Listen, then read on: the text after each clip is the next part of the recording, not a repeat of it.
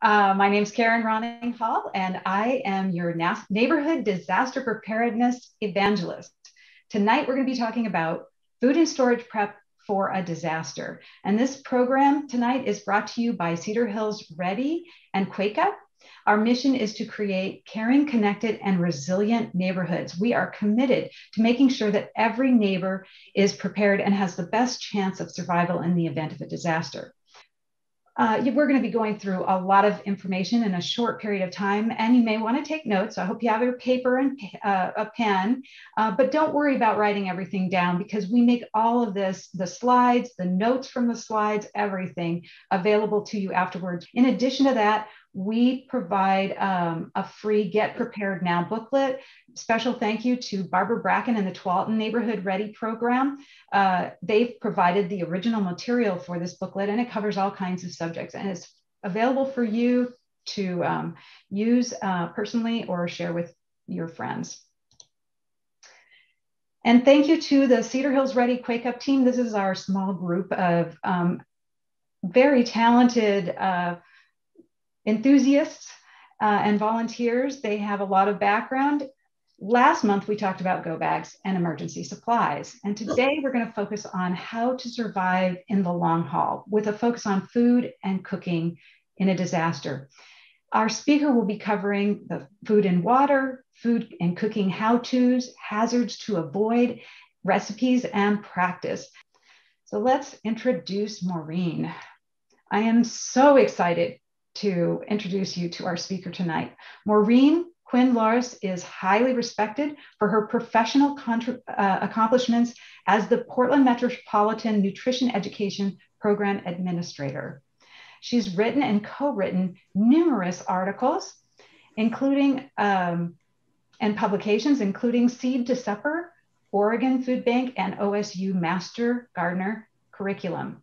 She's also won several awards for her work, including first place in State School Wellness Award, an Administrative Leadership Award, and the Community Partnership Aware Cooking Matters program.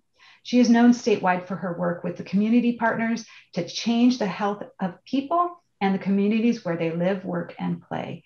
We're delighted and honored to have her with us today. Maureen? Good evening, everyone, and thank you for having me. I appreciate the opportunity to talk about preparedness and also to let you know that I look forward to questions that come up later. Sometimes you'll talk about something you've experienced, and then a friend will say, Well, what about X? And so, uh, next slide, please. I want to give you my contact information immediately. So, should you uh, want to come back to the presentation, you can find it quickly but I'm happy to take questions after the day as well because part of my job is to support Multnomah and Washington County residents in their wellness. Next slide, please. So first I wanna start with the fact that I honor those who have already been through disasters and one never knows who's in the room. And so we all bring our experiences. And so for that, because we're here together, but apart with COVID, I just want to acknowledge that we and our loved ones might already be bringing experience to this. So listen with the uh, with the knowing that you already have. But today's objectives are going to be around food related disaster preparedness, including food and water needs, which for those of you who've listened to some of the other presenters, you may say rerun, but it will be brief. But it's so important, it needs to be in every presentation. And then we'll talk about making a habit scaffold and then we'll act on some of that, hopefully. And then plan first sometimes, then kit. We need to acknowledge not only economics in general, but the economics of the pandemic. So, for those of you who are listening to this, also knowing, hey, I've got family that needs to know this, but their economic times are serious and tight, we're going to include some information about what it might make sense to plan for and then slowly build up to. So I want just to put that out up front because of the times we're in. Next slide, please. So disasters can affect your mental processes. This is our dog Rocco after day seven of the February weather event this year. Dog was not happy with the lack of heat in our home. People may be surprised by their own stress responses. So, this is why emergency preparedness is so important so that you can practice the behaviors that you think are the most valuable for your getting ready as a way to internalize those most helpful actions during an emergency. So, tonight we'll give you some concrete examples of actions you can take and supplies you can organize to get ready. The dog is fine. We spent a lot of time making over him and making sure he was nice and comfortable. But it's just an acknowledgement that the suddenness of some emergencies can change what we think our reactions will be. And so we want to prepare for that. Next slide, please.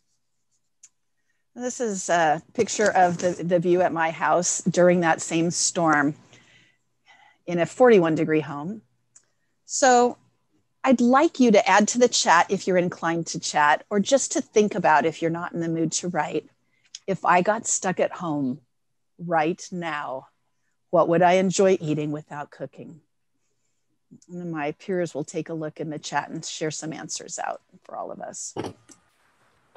Breakfast bars, chocolate, Powerball bars, chips, chocolate, dark chocolate, canned baked beans, pork and beans, fruit, nuts, jerky, peanut butter sandwich and fruit, some and uh, ice cream, granola, lasagna, wine, yeah, wine sounds good. Tuna. Okay. All right. Thank you so much for getting into the spirit and just telling us some of the things that would sound good and that you would enjoy eating without cooking. Uh, next slide, please. And for those of you who gave us answers in glass jars, just a reminder about storage. Those should be on shelves that have front pieces to keep things where they belong without jumping off in case of an earthquake, or they should be stored in safety boxes. Okay, so Karen shared some of our answers, and you all hit some really good basics, things that you can get at with a can opener or just by opening one little wrapper. And that's important. It is really important. There is a strong likelihood that no matter what good, yummy thing you put, that you will wish for more variety than you actually have when the moment comes. And so, with that um, truth illustrated, uh, by some really excellent examples, but just the fact that you will probably wish for more variety. Let's get down to some recommendations. Next slide, please. We're going to talk about water and food. And we're going to talk about both of them because without the water, the food part doesn't work out well. Next slide, please. So even though I talked about, um, you know, I was pitched as your, your food presenter, it all starts with water. Now, these are the water recommendations that those of you who are return viewers um, have seen previously, but every viewer needs to know that the water quantity recommendations are conservatively one gallon of water per day minimum for every person, pet, and cooked item you have ambitions to make, such as rice or noodles or lasagna, for a minimum of three days and preferably two to four weeks, because that is the likely time that they anticipate we will be without direct services um, from the larger systems that usually help us if there's an emergency. So in my case, there's a partner, a sister, and Rocco the dog along with me. So that's four of us. So four gallons of day minimum for our home, times a minimum of three days, a minimum of 12 gallons for the most basic emergency preparedness for our home. That last line in gray, options, purchase or home packaging is is the start of what I promised you about ways to think about this in the economic times we're in. If you're a crafty person, um, you'll have some options. If you're a purchaser who just wants to make this be organized and stop having to think about it, um, there'll be some straightforward ways you can do that too. So this is the baseline action. If you're thinking about getting ready, you need to start with water because you're going to be far less secure during an emergency if you don't have the water part taken care of. But with sufficient water, you can move to your cooking feats of excellence. Next slide. So as I mentioned, a gallon of water a day is conservative. So if you know you really like water and you drink a lot of it anyway, you'd be wise to ratchet up your math. But this is the water math for you. So I'm going to be quiet for long enough for you to do this math for your home, please. Count each person and pet Imagine how much rice or noodles you would cook daily. Times it by three. And then put that many gallons on your shopping list or your calendar or your phone memo right now. Ignore this presentation long enough to get it down on somewhere where you can take action. And that is the trick to tie it to something that makes sense to you. And if you need to step away and go get that list off to your fridge, that's just a dandy action for you to take because someplace along the way, systematizing the things you know is how you get those things to be actions which are supporting you in emergency.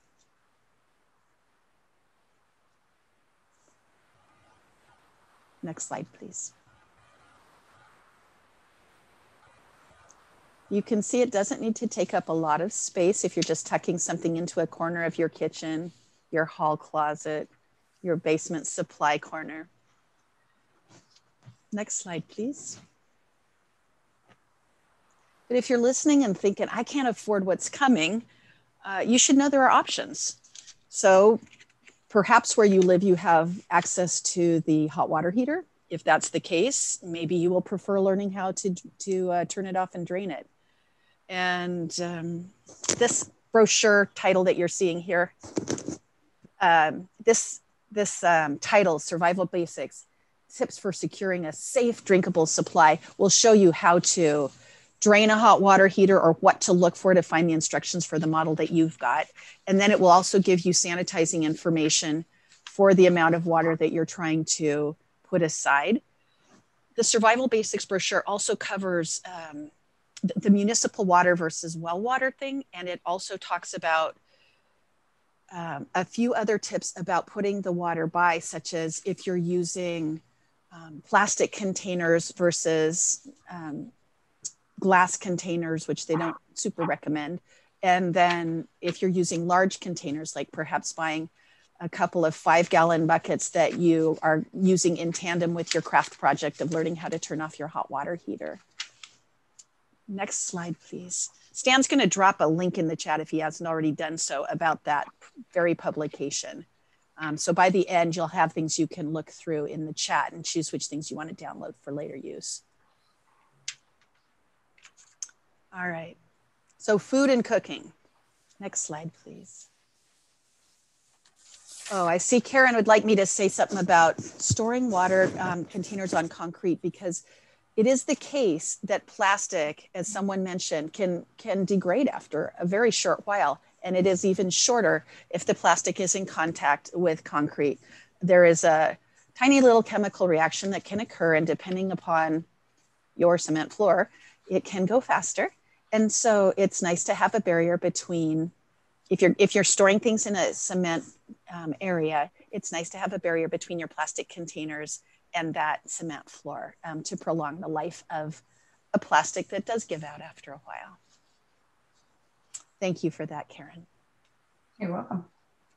Okay. So federal advice starts with these foods these ready to eat foods are the baseline part of a lot of the emergency preparedness suggestions. So if you think back to what you all put into the chat, a lot of those lined up very beautifully with the federal advice that we get.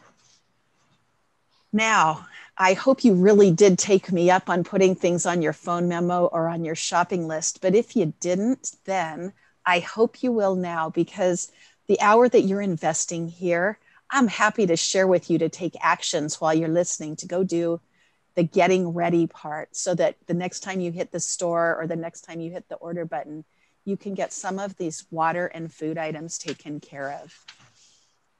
And it is the habit of working on it a little at a time that is often the most successful for people who don't do this for a living. So I will just tell you if you can identify one or two things that seem doable, then you're heading in the right direction to get it done. So if you notice on the federal guidance, these are it starts with shelf stable items. It starts with things that are easy to store and that don't need a lot of fuel to make them work out as a dinner, breakfast, or snack item because we don't know how much fuel will be available depending upon the emergencies that hit us. So, shelf stable foods allow you to eat without the stress of cooking. And that's important because some people have a shutting down reaction. Once the emergency actually happens, um, once the emergency actually happens, you will perhaps be quite ready to go and all your training will bloom at that very moment. But sometimes people shut down a little bit. And in that case, these shelf stable items are doubly useful to be able to keep yourself nourished while still dealing with the feelings that the emergency has caused to bloom for you. So, a couple of things that you would actually eat from that earlier list um, or from the list here on the screen, those would be another great thing to put on your phone memo or your piece of paper. But for those of you who are still thinking about water and like, well, I'm, I'm still on the first step that you said, which was water just know that the brochure that um, Stan's put a link in about will help you decide how to store things. And some of that will be based on your style. So if you're a person that wants things in uniform containers and you know put aside in, in an orderly fashion in a, a box for your preparedness kit, that's one way to do it. For people who who have glass jars, there's there's some information on how to store those safely so that it reduces the likelihood of breakage. There are some tips about putting water in your freezer if you have a biggish freezer and not a biggish amount of food in it. That's another easy place to put some extra water and it'll it'll help you with the efficiency of the freezer by keeping the space used up and it will help you with the efficiency of the freezer by having something in it that's frozen clear through like that water but then when the time comes that you need it to help you cool the food it will also assist you in that way and then if you get some extra stuff you just take a gallon of water out and you're still ready to go. You've got another, another little square foot of space in there for the yummy thing you got. Next slide, please.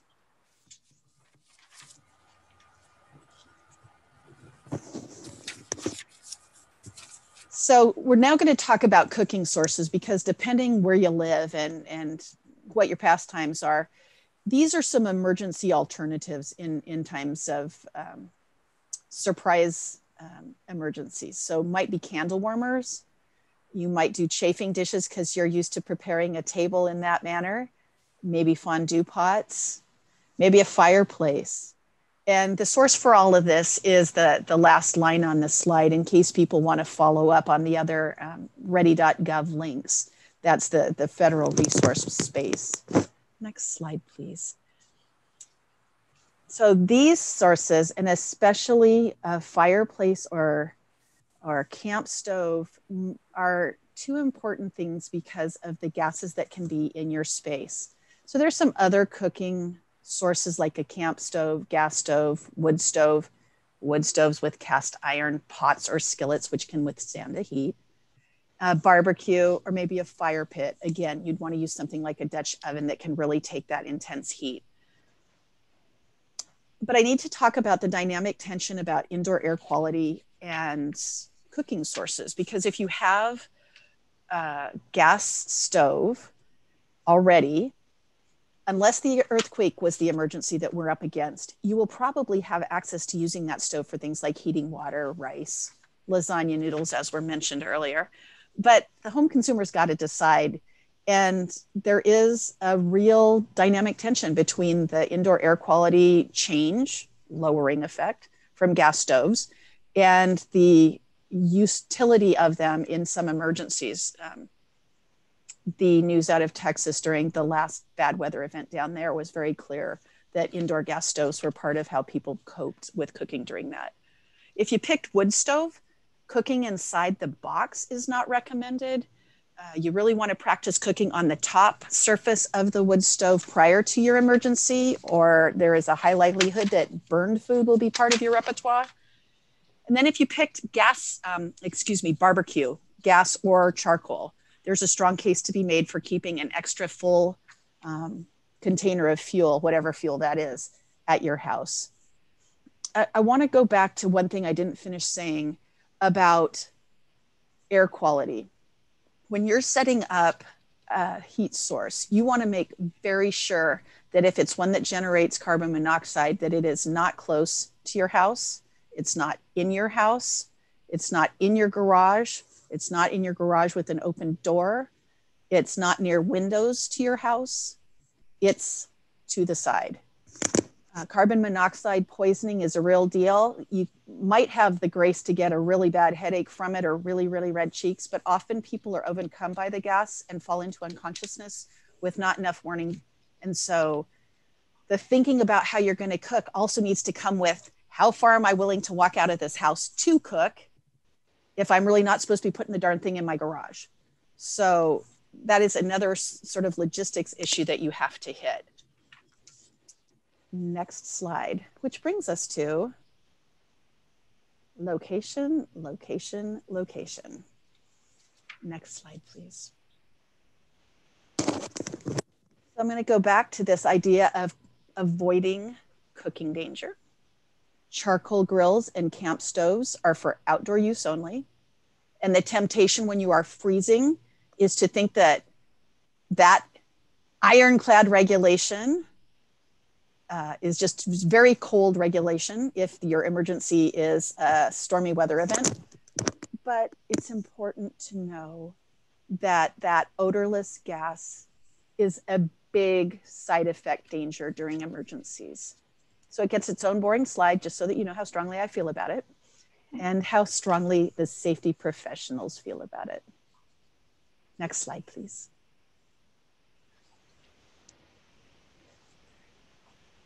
So distance is safety. Place grills and camp stoves away from the house.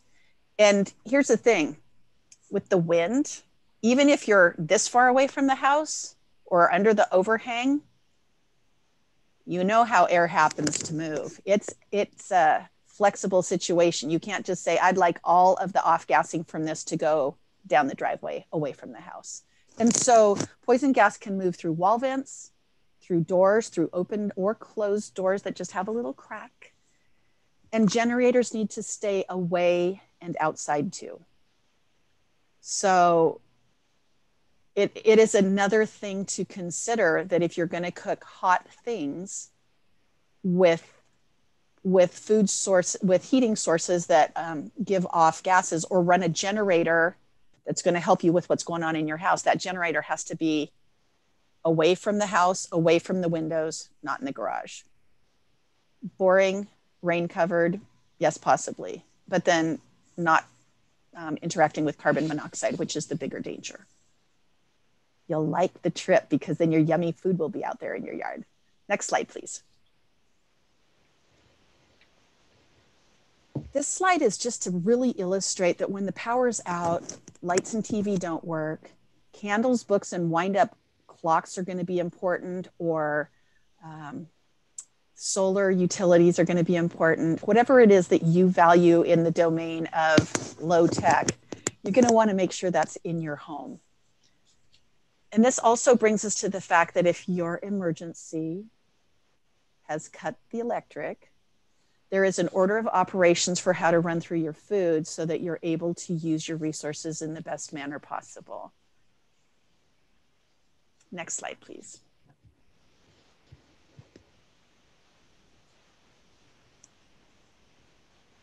So for recipes that sound like a good idea during emergencies, you should practice them ahead.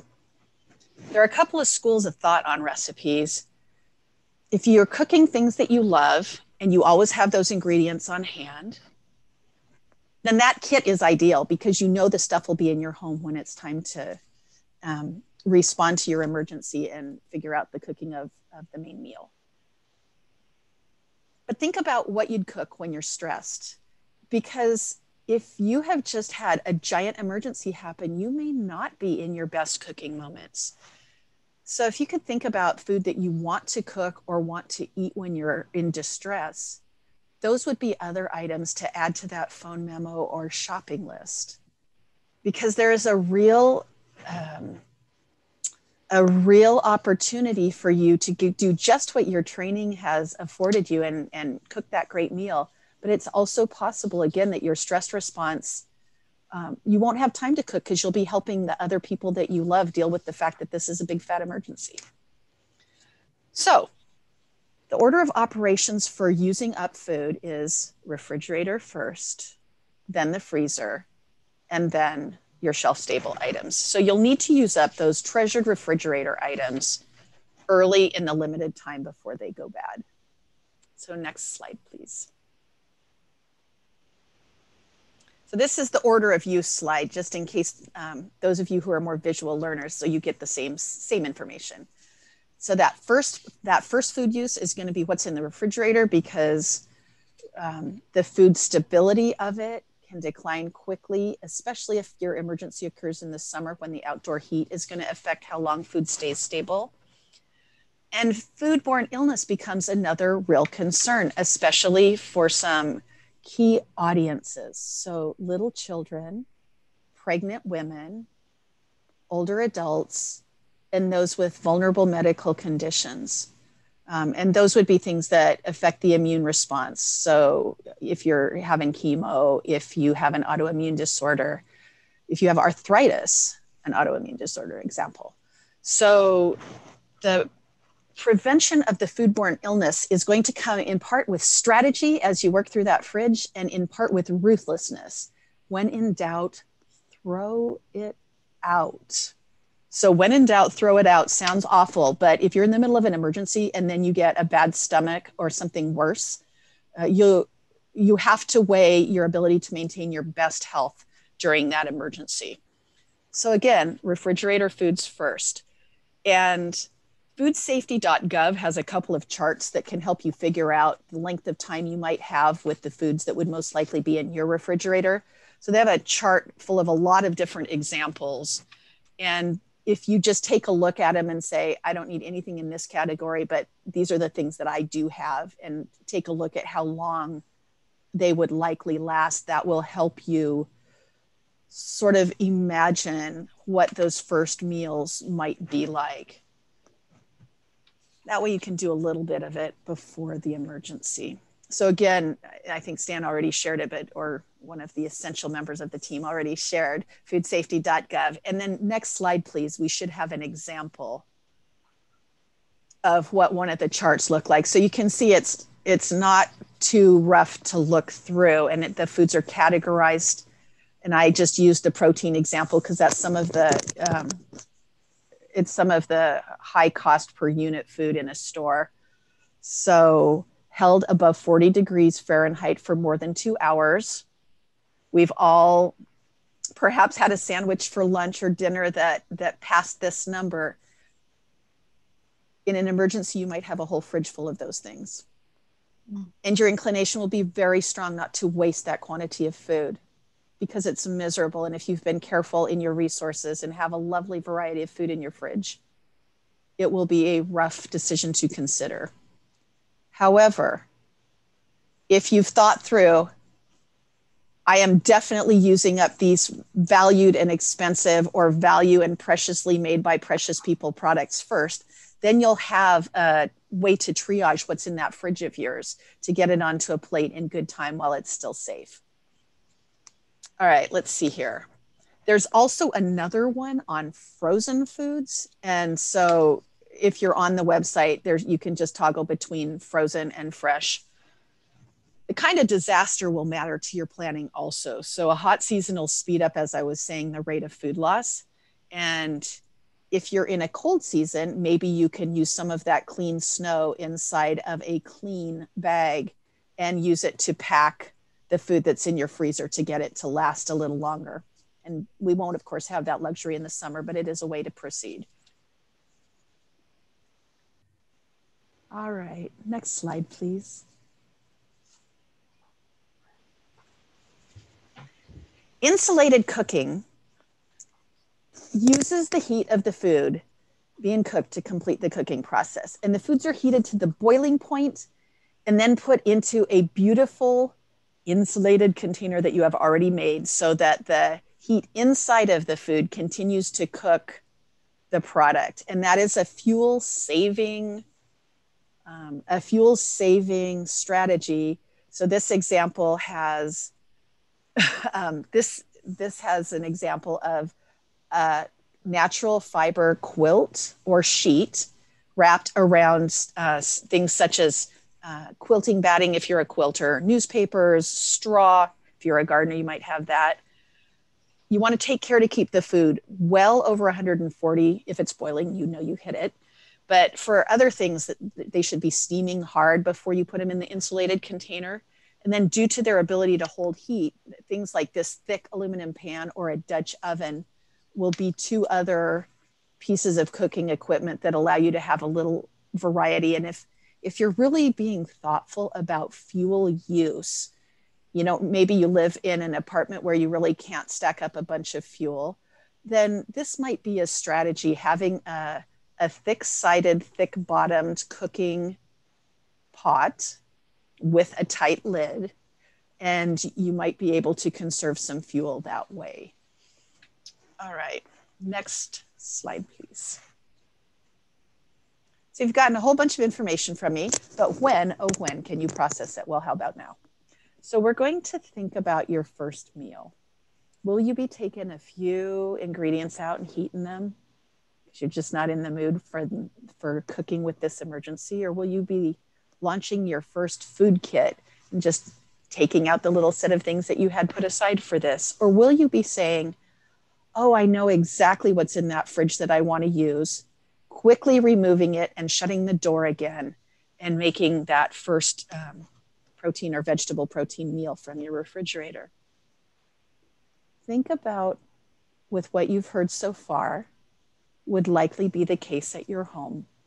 And then if somebody, um, if some of you would be willing to put some of your ideas in the chat based on what you've heard so far, what you think you might do about a meal, I'd appreciate it. We've got um, fresh veggies and sandwiches and cottage cheese, hummus and yogurt, chili, salad and cheese, whatever meat I have in the fridge and can op- and a can of green beans.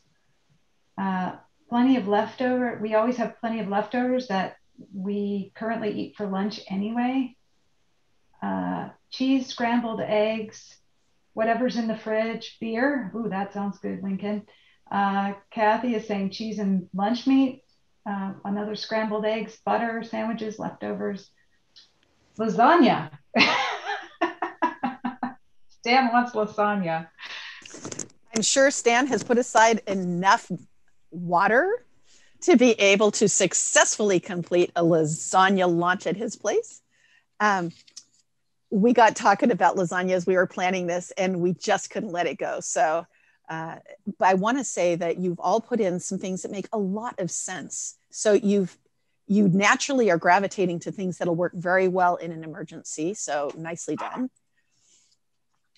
Uh, oh, Annie's saying Costco lasagna doesn't need water. Well done if it's in your fridge, but if it's in your freezer, don't use it yet because you want to keep your freezer slammed shut. So you're going to be in great shape because you can have lasagna more than once. Um, let's and see here. suggested, um, Christy Thomas suggested powdered green drink. I've never heard of that. That sounds interesting. Does sound yummy.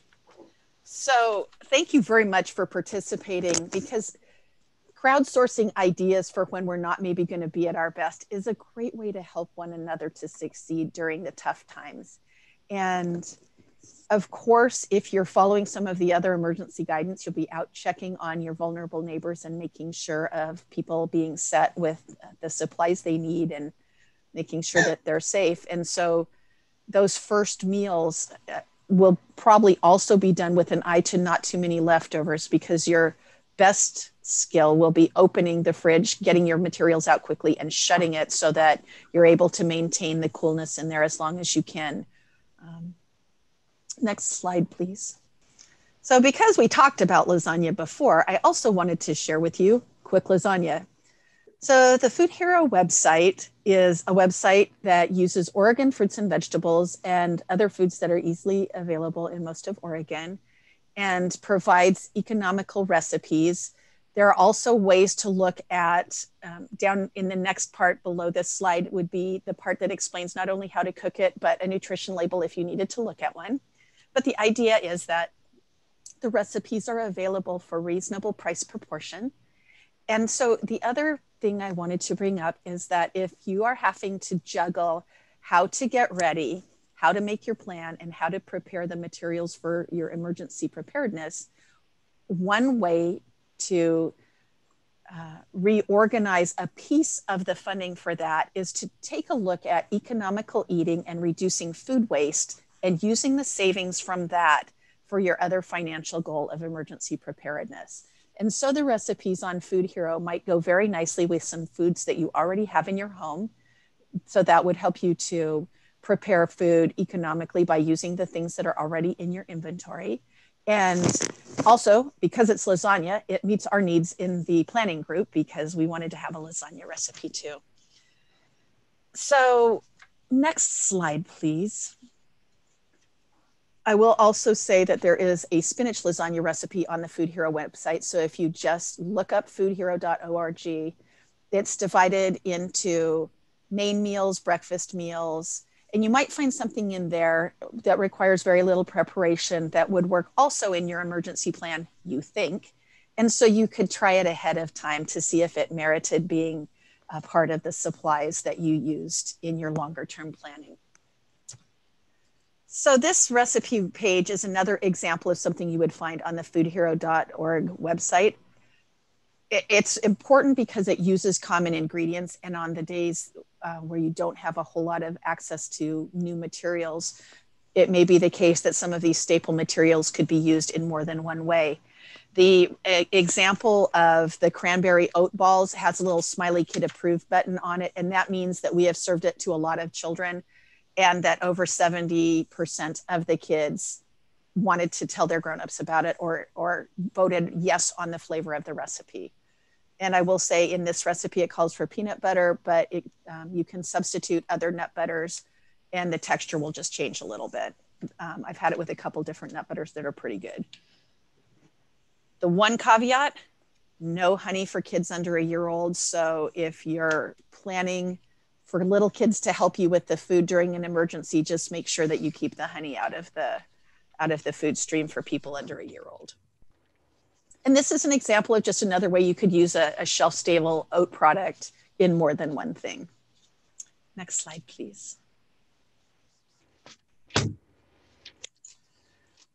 So I want to include a comment about cooking in cans because the Federal Emergency Management um, Agency talks about this exact topic. And I think it is important to bring up because it's not something that non campers may do, but it's worth knowing because every time you cook something, you're going to have to clean a pan or decide not to.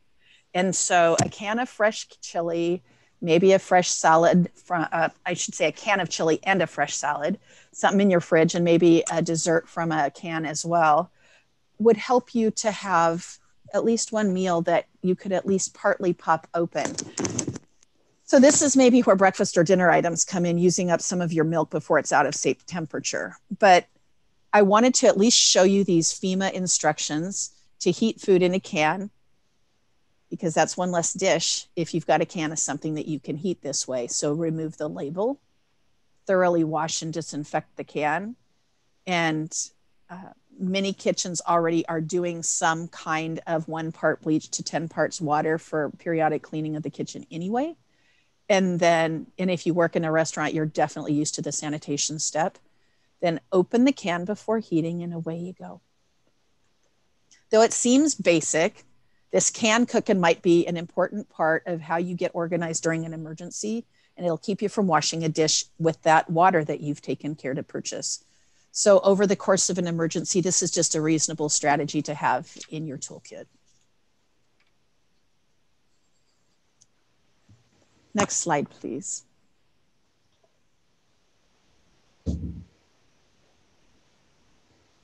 So, what have you prepared during this hour? As this information has flowed by you or perhaps over you in your comfy chair, what, what pieces seem to be the most supportive of the home life that you're living right now? And if you're comfortable, would you please share it in the chat so I can get a sense of that before we start um, addressing some question and answer information. Maureen, um, one person doesn't understand the question. And let me just look at what people are saying here. Oh, thank you for thank you for that. Sometimes I get so nervous. I I'm just trying to gauge what people have heard that was the most pertinent because often in these conversations some people are in apartments some people are in houses some people have you know two generators. So my question is just about what part of this was helpful to you and maybe sharing um, something that you're going to do to get ready. Thanks so for asking thing, the things that people are saying um, include the order of using up food. Uh, need to get a dutch oven like the food use charts, I need to focus on foods that I can eat without heating. Um, fondue and how to use a can. Thinking about how much water my family may need um, and how much water we use per day for cooking. Um, I'm going to check out the survival basics at OSU and foodhero.org. Uh, recipe book for reminding of easy cooking meals. Uh, check out Candle Warmers of Diane Smith, Overnight Oatmeal. I have aquatainers sitting on my garage floor. I assume they would be okay since they are thicker, but I don't know if this is still a problem. You and your aquatainers should be fine. And thank you for making that distinction between the far less durable ones that we pick up at the store and the very durable containers that are designed for longer term storage and withstanding the daily slings and arrows of outrageous uh, garage storage. Somebody, David Gardner asked, um, cooking in the can, aren't the insides of cans plastic coated? Not all of them. And you are raising an excellent point, um, David Gardner. So, um, so some can linings are coated and if they're things like tomato sauce, it's largely to keep the tomatoes from tasting like can, that, that acid interaction that'll happen.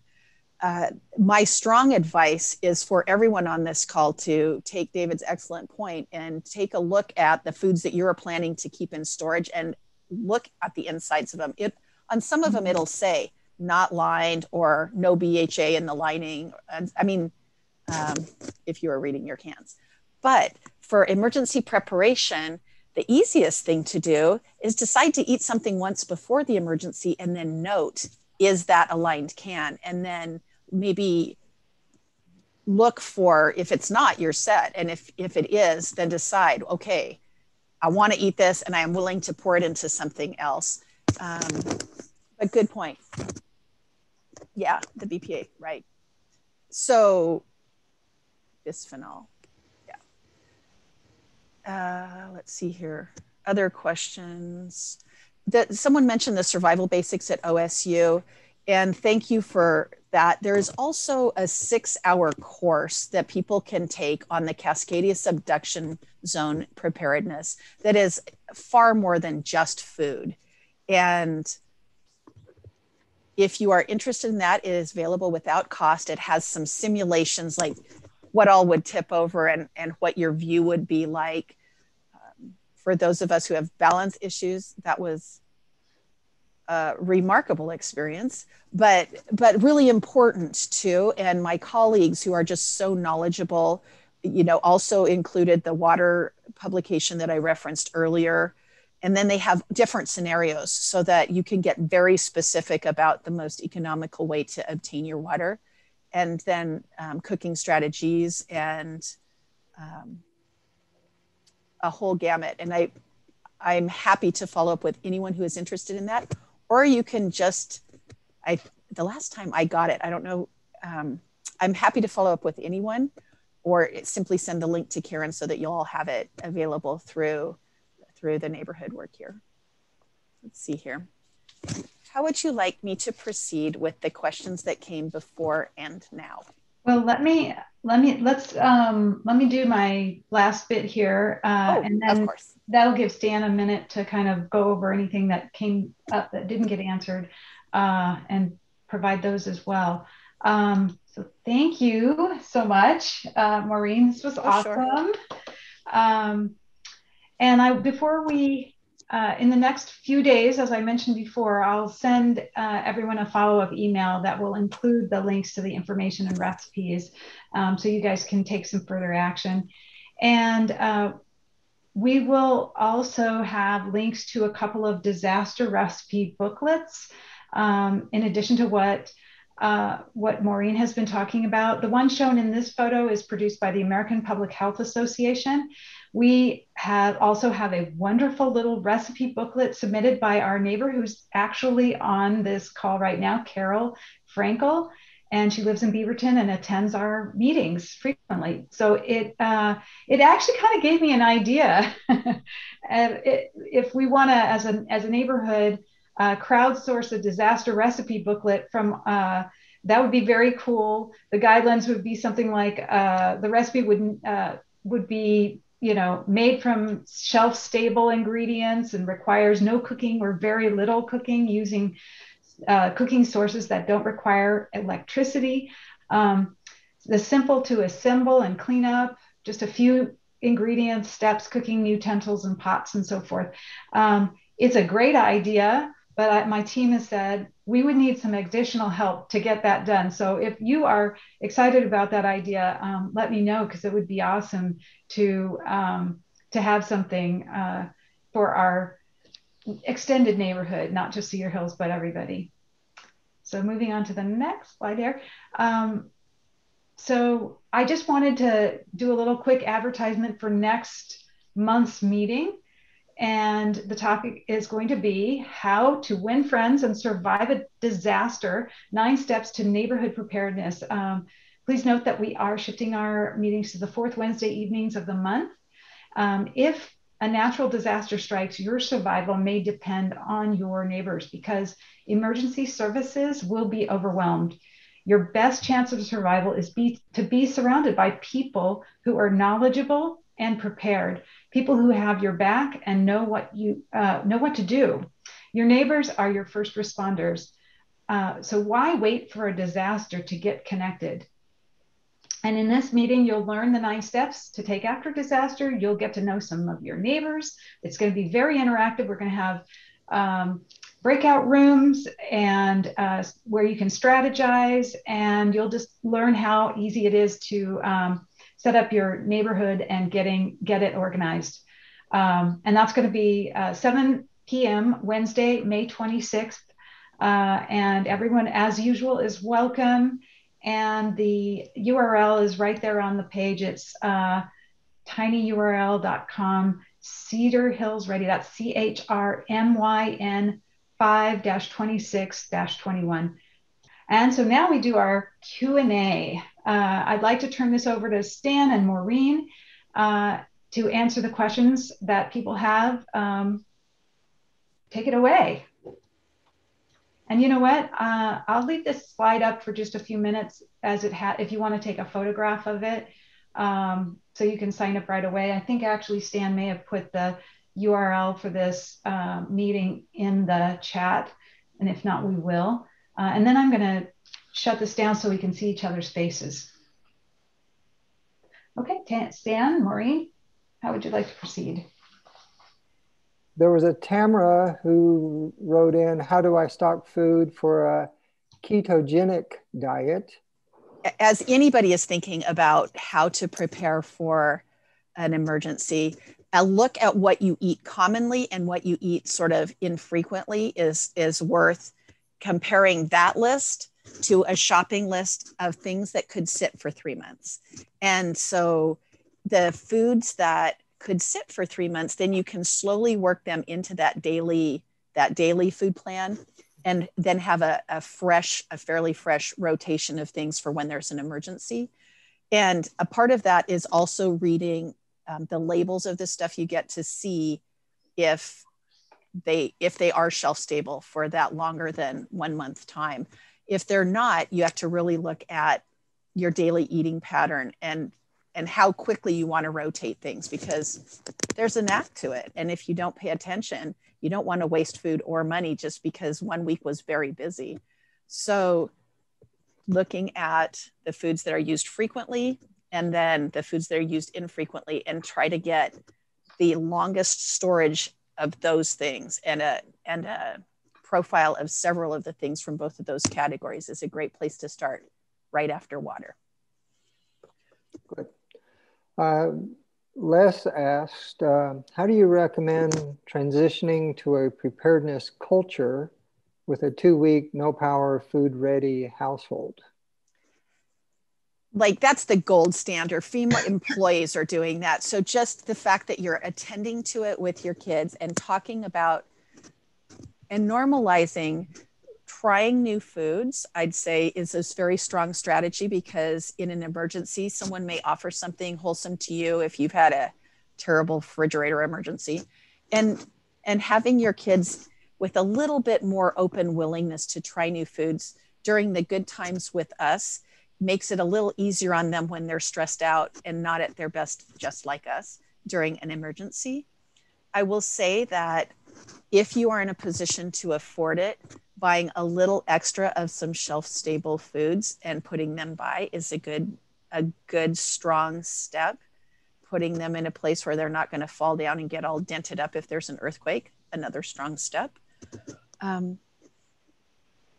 the practice of the practice of eating things and using them up is another thing that doesn't seem like it's related to emergency preparedness, but it really is because it reduces the family's overall waste footprint. And then fewer resources are being wasted. So you have a little bit more money to put aside for those emergency supplies. So the transition is about where's money leaking out now? How can I tighten that up and then use that for resources to be shelf stable during an emergency? Because they are often a little bit more expensive. Not always, but often. And I just really appreciate all of you being here. And I'm, I'm trying to share things that will be relevant to many, but I just appreciate that the interest that you have brought to the room will just be part of what really helps during an emergency, that your own heart is open to being part of the solution. We had a question about um, uh, one of the pictures that we had showed a pantry that didn't have pr- protective strips in the front of the food on the shelf. So I just want to say if any of you are storing glass where it could fall down and break, um, the protective strips on the fronts of cupboards, which sometimes are just even doweling, are part of what's really important to think about if everything in your house was shaking. What would you not want to have fall down from where it is right now?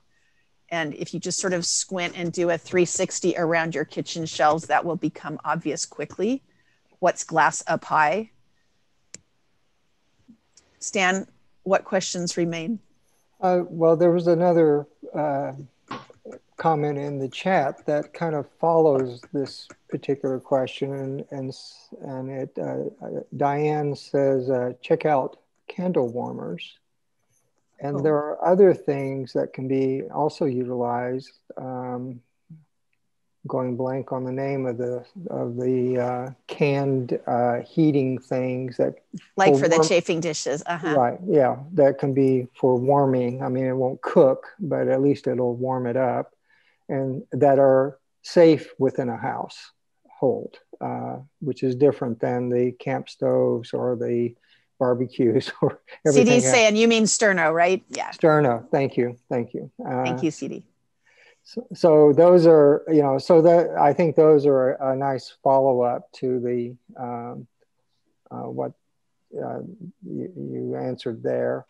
And then uh, see what's the other. There was a follow up too with this um, do you recommend transitioning from a just in time stop at the grocery store meal preparation household, relying on others?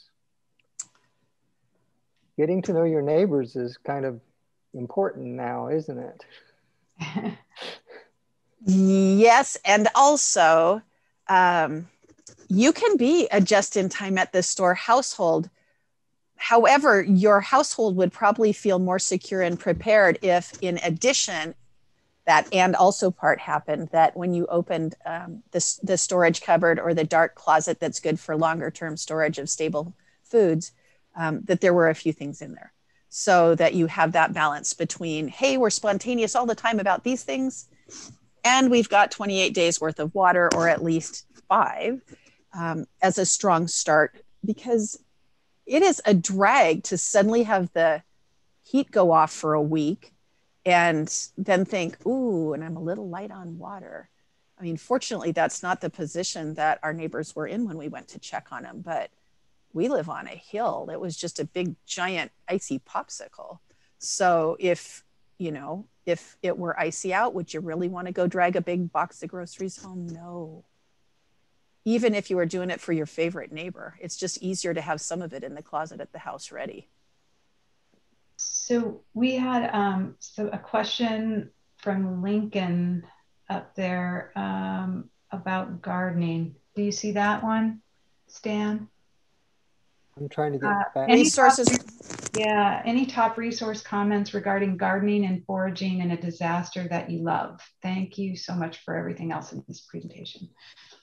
Lincoln, I don't. And I appreciate the question a lot because, in general, with the pandemic, we are really emphasizing people trying to do some local food, whether it's a row of greens or a container of, of um, just how to reduce that travel load and logistics problem with food if we can do anything to do with growing some of it locally but i don't and if if you'd like i'd be happy to follow up about that and try to get some information back towards karen for for the send out um, email that she'll do as a follow-up thank you for that yeah that's great um, uh, cd nelson is suggesting that everybody have three can openers scattered around your near garage.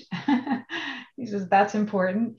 Um, you can, I think it's also important to have them in your um, go bag. Uh, so that's a good idea. Also, Cindy, uh, I'm not going to attempt the last name. She says she moved here from Austin in 2019 and is still in touch with all of her neighbors there in, uh, via Facebook. And it was really great how they all helped each other out during the big freeze. Um, Whitney had a question about how long can you safely store tap water in a plastic container? Oh, my friends covered that in their their brochure, and I do not remember off the top of my head. But um, Stan, that was one of the things you stuck in the um, in the chat, right? I think it was I think it was page four, and it seemed like it was in the middle. Hmm. We will find out. Okay. And then while we're waiting for that, uh, Trish uh, asked her that asked if the speaker could say something about the glass bottles she couldn't hear. Oh, sorry about the dropout. Um, if the question was about storing in water, storing water in them, uh, it's just a little bit more delicate operation. You got to keep track of um, them not breaking, and then your your supply going away. But if that's something cheap that you have now, um, that can work. Yeah, that can absolutely work. And then uh, let's see here, that previous question, I'm going to need a little bit of help because I am now looking for the answer to the other one. Tap water in. What was the question again? Water storage containers. Tap water in water storage containers. Yeah, and plastic how long can you safely store tap water in a plastic container? Okay, well, so there are different kinds of plastic. So that's sort of an important uh, distinction. Repurposed milk jugs, no. Uh, other bottled water, maybe every six months in um, commercially bottled water. That's that's the gold standard. But the best option is to use, and I'm quoting here, the best option is to use food grade, heavy duty plastic buckets, carboys, or um, drums stamped with PETE or HDPE. And the and the plastic is because some of it's really permeable. So it looks like plastic that things don't get through, but it in fact has um, it does not have a smooth surface and it is not sufficiently thick to so that when you wash it that it stays all the way clean and then um, and then it degrades. So that is that is why their brochure is and it's it's a 10 minute read but it'd be worth it in my opinion and i'd be happy to follow up with you yeah that sounds good. Um, cd nelson is saying one of his favorite non-standard foods are to buy 10 number 10 cans from August Augason's Farms, huh? They have uh, pancake mix and dehydrated potato slices, and a few others are all under 10 bucks, and they last for 10 years or more. And he uses them a lot and ro- while he rotates. That's pretty good tip. Hmm. And then it also said uh, you can grow lettuce and spinach pretty much all year round. Right. And so if if you're in a place that has decent soil. And if you're in an apartment, you you have to check whether you're allowed to have a container garden but those things will even grow in a grocery bag if you've poked half a dozen holes in the bottom of one of those plastic reusable grocery bags and fold it down so it's only about a third of its original height you can actually start lettuce in that and then um, and use it instead of terracotta pots to reduce some of the weight on your balcony stan any other questions